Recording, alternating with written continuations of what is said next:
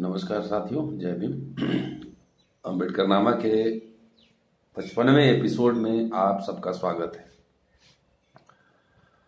इस एपिसोड में हम बात करेंगे डॉक्टर अंबेडकर ने जो गवर्नर जनरल थे उस समय वायसराय वॉवेल, लॉर्ड वॉवेल, उनको एक पत्र लिखा था तीन मई 1946 को।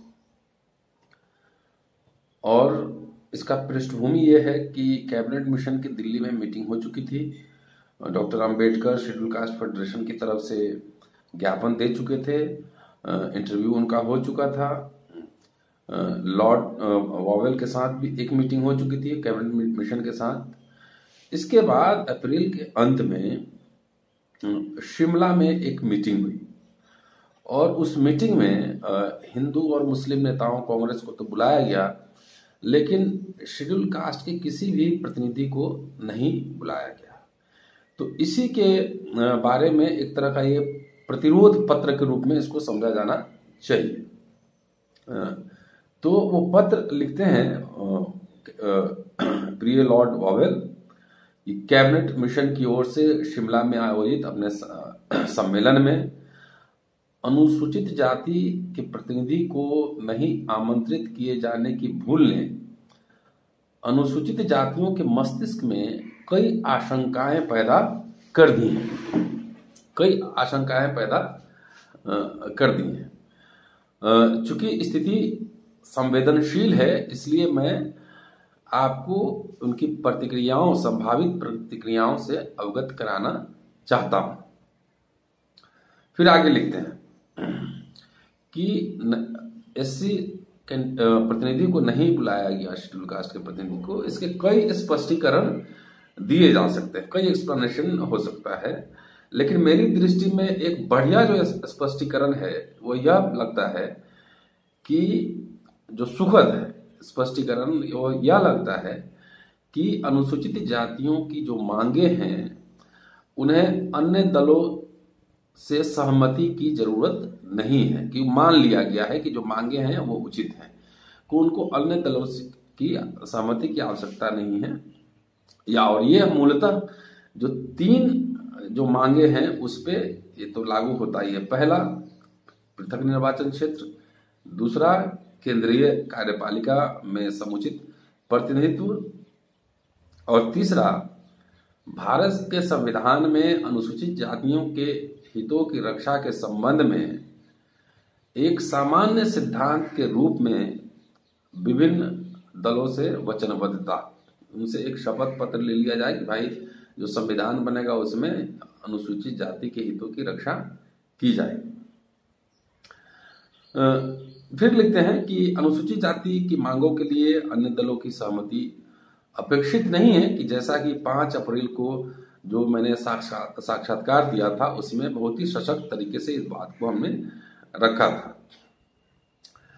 एक बहुसंख्यक समुदाय द्वारा निर्वाचन क्षेत्र की मांग, जैसा कि पंजाब पंजाब, उत्तर पश्चिम प्रांत, सिंध और बंगाल के मुसलमानों के मामले में है कि वहाँ मुसलमान बहुसंख्यक है, फिर भी वो एक अलग निर्वाचन क्षेत्र की मांग कर रहे हैं और यही उनकी जो मांग है हमारी मांग का आधार है। हमारे अस्पृश्यों के लिए अलग निर्वाचन क्षेत्र का आधार है। बहुसंख्यक समुदाय द्वारा यदि अलग निर्वाचन क्षेत्र की मांग की जाती है तो उसके लिए अल्पसंख्यक समुदाय की सहमति ज़रूरी है, आवश्यक होती है। किंतु अल्पसंख्यक समुदाय द्वारा अलग निर्वाचन क्षेत्र की मांग में बहुसंख्यक समुदाय की इच्छा पर निर्भर नहीं हो सकती है। बहुसंख्यक समुदाय की इच्छा पर निर्भर नहीं हो सकती।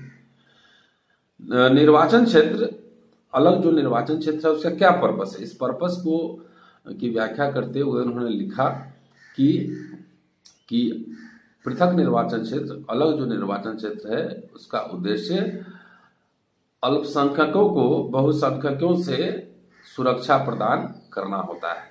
कि उसमें जो अल्पसंख्यक है, उनके हितों की हत्या न हो जाए, हकमारी न हो जाए, इसलिए बहुसंख्य जो मेजोरिटी है, उससे माइनॉरिटी को सुरक्षा प्रदान करना यही उद्देश्य होता है। इसी का एक तंत्र है वो। अलग निर्वाचन प्रणाली इसलिए निर्वाचन क्षेत्र संयुक्त हो या अलग हो, पृथक हो, यह यह सवाल अल्पसंख्यकों पर छोड़ देना चाहिए, ताकि अल्पसंख्यक इस बात को समझ सके कि उनके हित क्या है उनके हित क्या है? क्या अच्छा है उनके हित में, क्या बुरा है? बहुसंख्यक इस मामले में कुछ नहीं कर सकते और उन्हें वास्तव में अल्पसंख्यकों के निर्णय को स्वीकार कर लेना चाहिए। सो इसके अनुपालन में, इसको मानने में हिंदुओं के पास कहने के लिए अधिक कुछ नहीं है कि अनुसूचित जातियों को अलग निर्वाचन क्षेत्र मिलना चाहिए या नहीं मिलना चाहिए? इसका, इसकी आगे व्याख्या करते हैं। कहते हैं कि अलग निर्वाचन क्षेत्र की मांग किसी अन्य समुदाय पर विपरीत प्रभाव नहीं डालती है। हम्म। यहाँ तक कि हिंदुओं पर भी नहीं डालती है। इसलिए यह मांग सबको स्वीकार होना चाहिए। कि हिंदुओं को की यदि यह राय है कि अनुसूचित जातियाँ हिंदू हैं, इसलिए उन्हें अलग निर्वाचन क्षेत्र नहीं मिलना चाहिए हम्म। मूल रूप से यह एक धर्मवादी सोच है और यह आवश्यक मुद्दा नहीं है कि जो अलग निर्वाचन क्षेत्र की जो मांग है, वो अल्पसंख्यकों के लिए एक सुरक्षा तंत्र है और इसका धर्म से कोई लेना देना नहीं है एंग्लो इंडियंस यूरोपियंस और इंडियन क्रिश्चियन का उदाहरण देते हुए उन्होंने लिखा कि यूरोपियन एंग्लो इंडियन और इंडियन क्रिश्चियन के मामले में देखे जा सकते हैं, क्योंकि जो एक ही धर्म को मानते हैं, लेकिन उनके निर्वाचन क्षेत्र अलग अलग हैं। ये प्रमाण उन्होंने दिया। फिर आगे लिखते हैं कि यदि कैबिनेट मिशन इन तथ्यों तथा तर्कों पर विचार करे तो इसमें कुछ भी अस्वाभाविक नहीं है, कुछ भी अननेचुरल नहीं होगा कि अनुसूचित जातियों की राय स्वीकार कर ली जाए। और इसके लिए हिंदुओं की सहमति की कोई ज़रूरत नहीं है। इस मामले में पूरी तरह कैबिनेट को कैबिनेट मिशन को निर्णय करना है। विशेषकर तब, जबकि यह सिद्ध हो चुका है कि संयुक्त निर्वाचन क्षेत्रों ने अनुसूचित जातियों की मांग को मज़ाक बना दिया है। मौकरी बना दिया है उनके उनके उद्देश्य को। दूसरा जो इंपॉर्टेंट बात वो व्याख्या करते हैं, कहते हैं कि अनुसूचित जातियों की मांग, दूसरी मांग है कि अंतरिम सरकार में उनका प्रतिनिधित्व, मुस्लिम को दिए गए, मुस्लिम समुदाय को दिए गए प्रतिनिधित्व का कम से कम आधा होना चाहिए फिफ्टी परसेंट होना चाहिए। कि, और यह ऐसी मांग है कि जिससे हिंदुओं से सहमति लेने की कोई ज़रूरत नहीं है।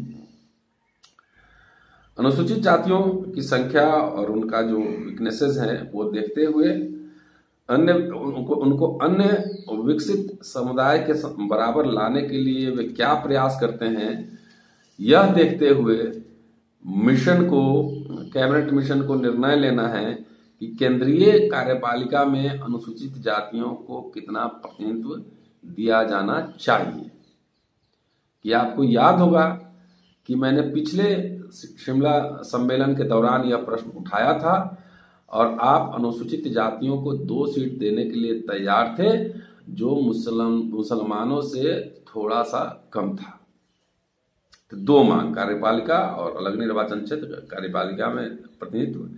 तीसरी बात जो है, वो कहते हैं कि तीसरी मांग कोई नई मांग नहीं है। इसमें आपकी उस राय को दोहराया गया है जो आपने 15 अगस्त 1944 को गांधी को पत्र लिखकर ज़ाहिर किया था।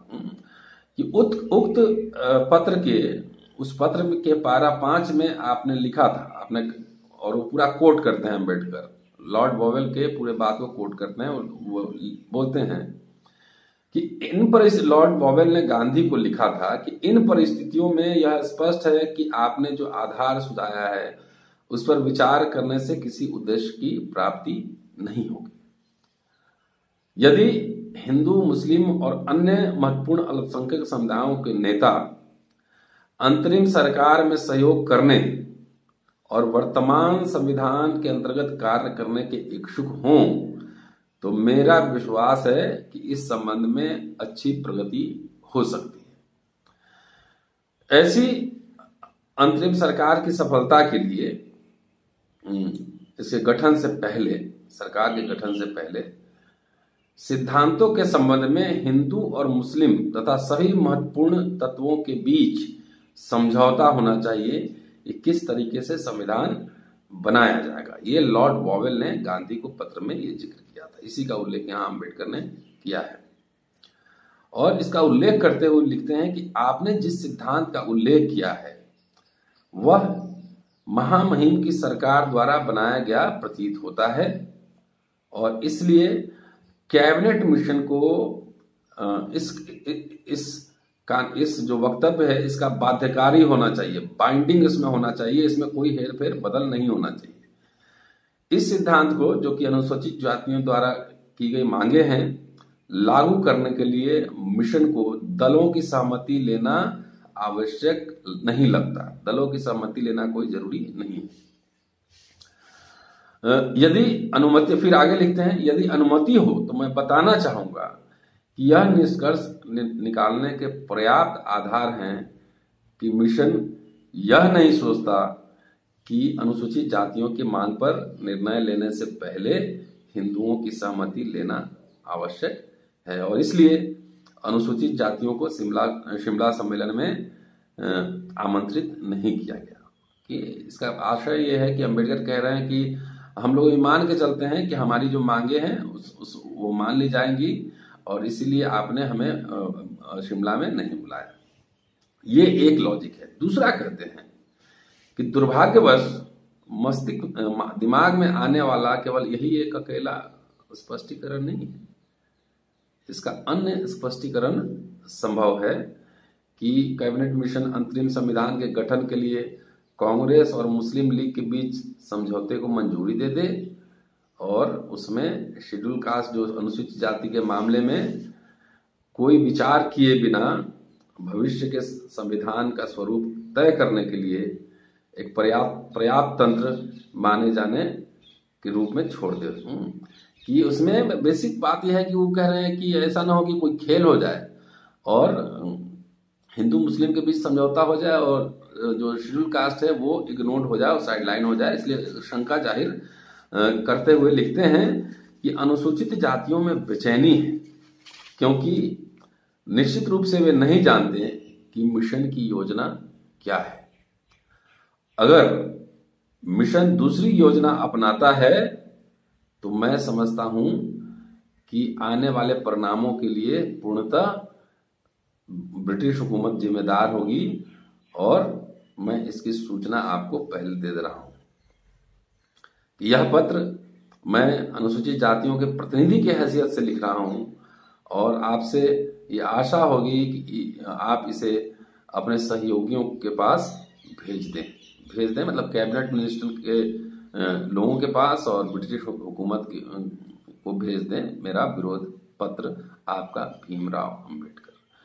तो लगातार अंबेडकर अपनी मांगों पे अड़े हुए हैं, कई चिट्ठियाँ लिख रहे हैं। इसके बाद उन्होंने कैबिनेट मिशन के एक सदस्य को चिट्ठी लिखी। तो जितनी चिट्ठियाँ हैं ये सब उसका क्रमवार जानना ज़रूरी है कि कैब अल्टीमेटली कैबिनेट मिशन ने पौने दो महीने में जो जो फैसले लिए उसमें आ, आ, क्या हुआ क्यों शेड्यूल कास्ट को छोड़ दिया गया आ, और बहुत सारी मांगे नहीं मानी गई। तो क्यों नहीं मानी गई उस पर अंबेडकर क्या प्रतिरोध कर रहे थे ये तिथिवार मतलब क्रोनोलॉजिकली ये जानना ज़रूरी है। आप सुनिए पूरा सुनाइए और लोगों को शेयर भी कीजिए। शुक्रिया साथियों जय हिंद।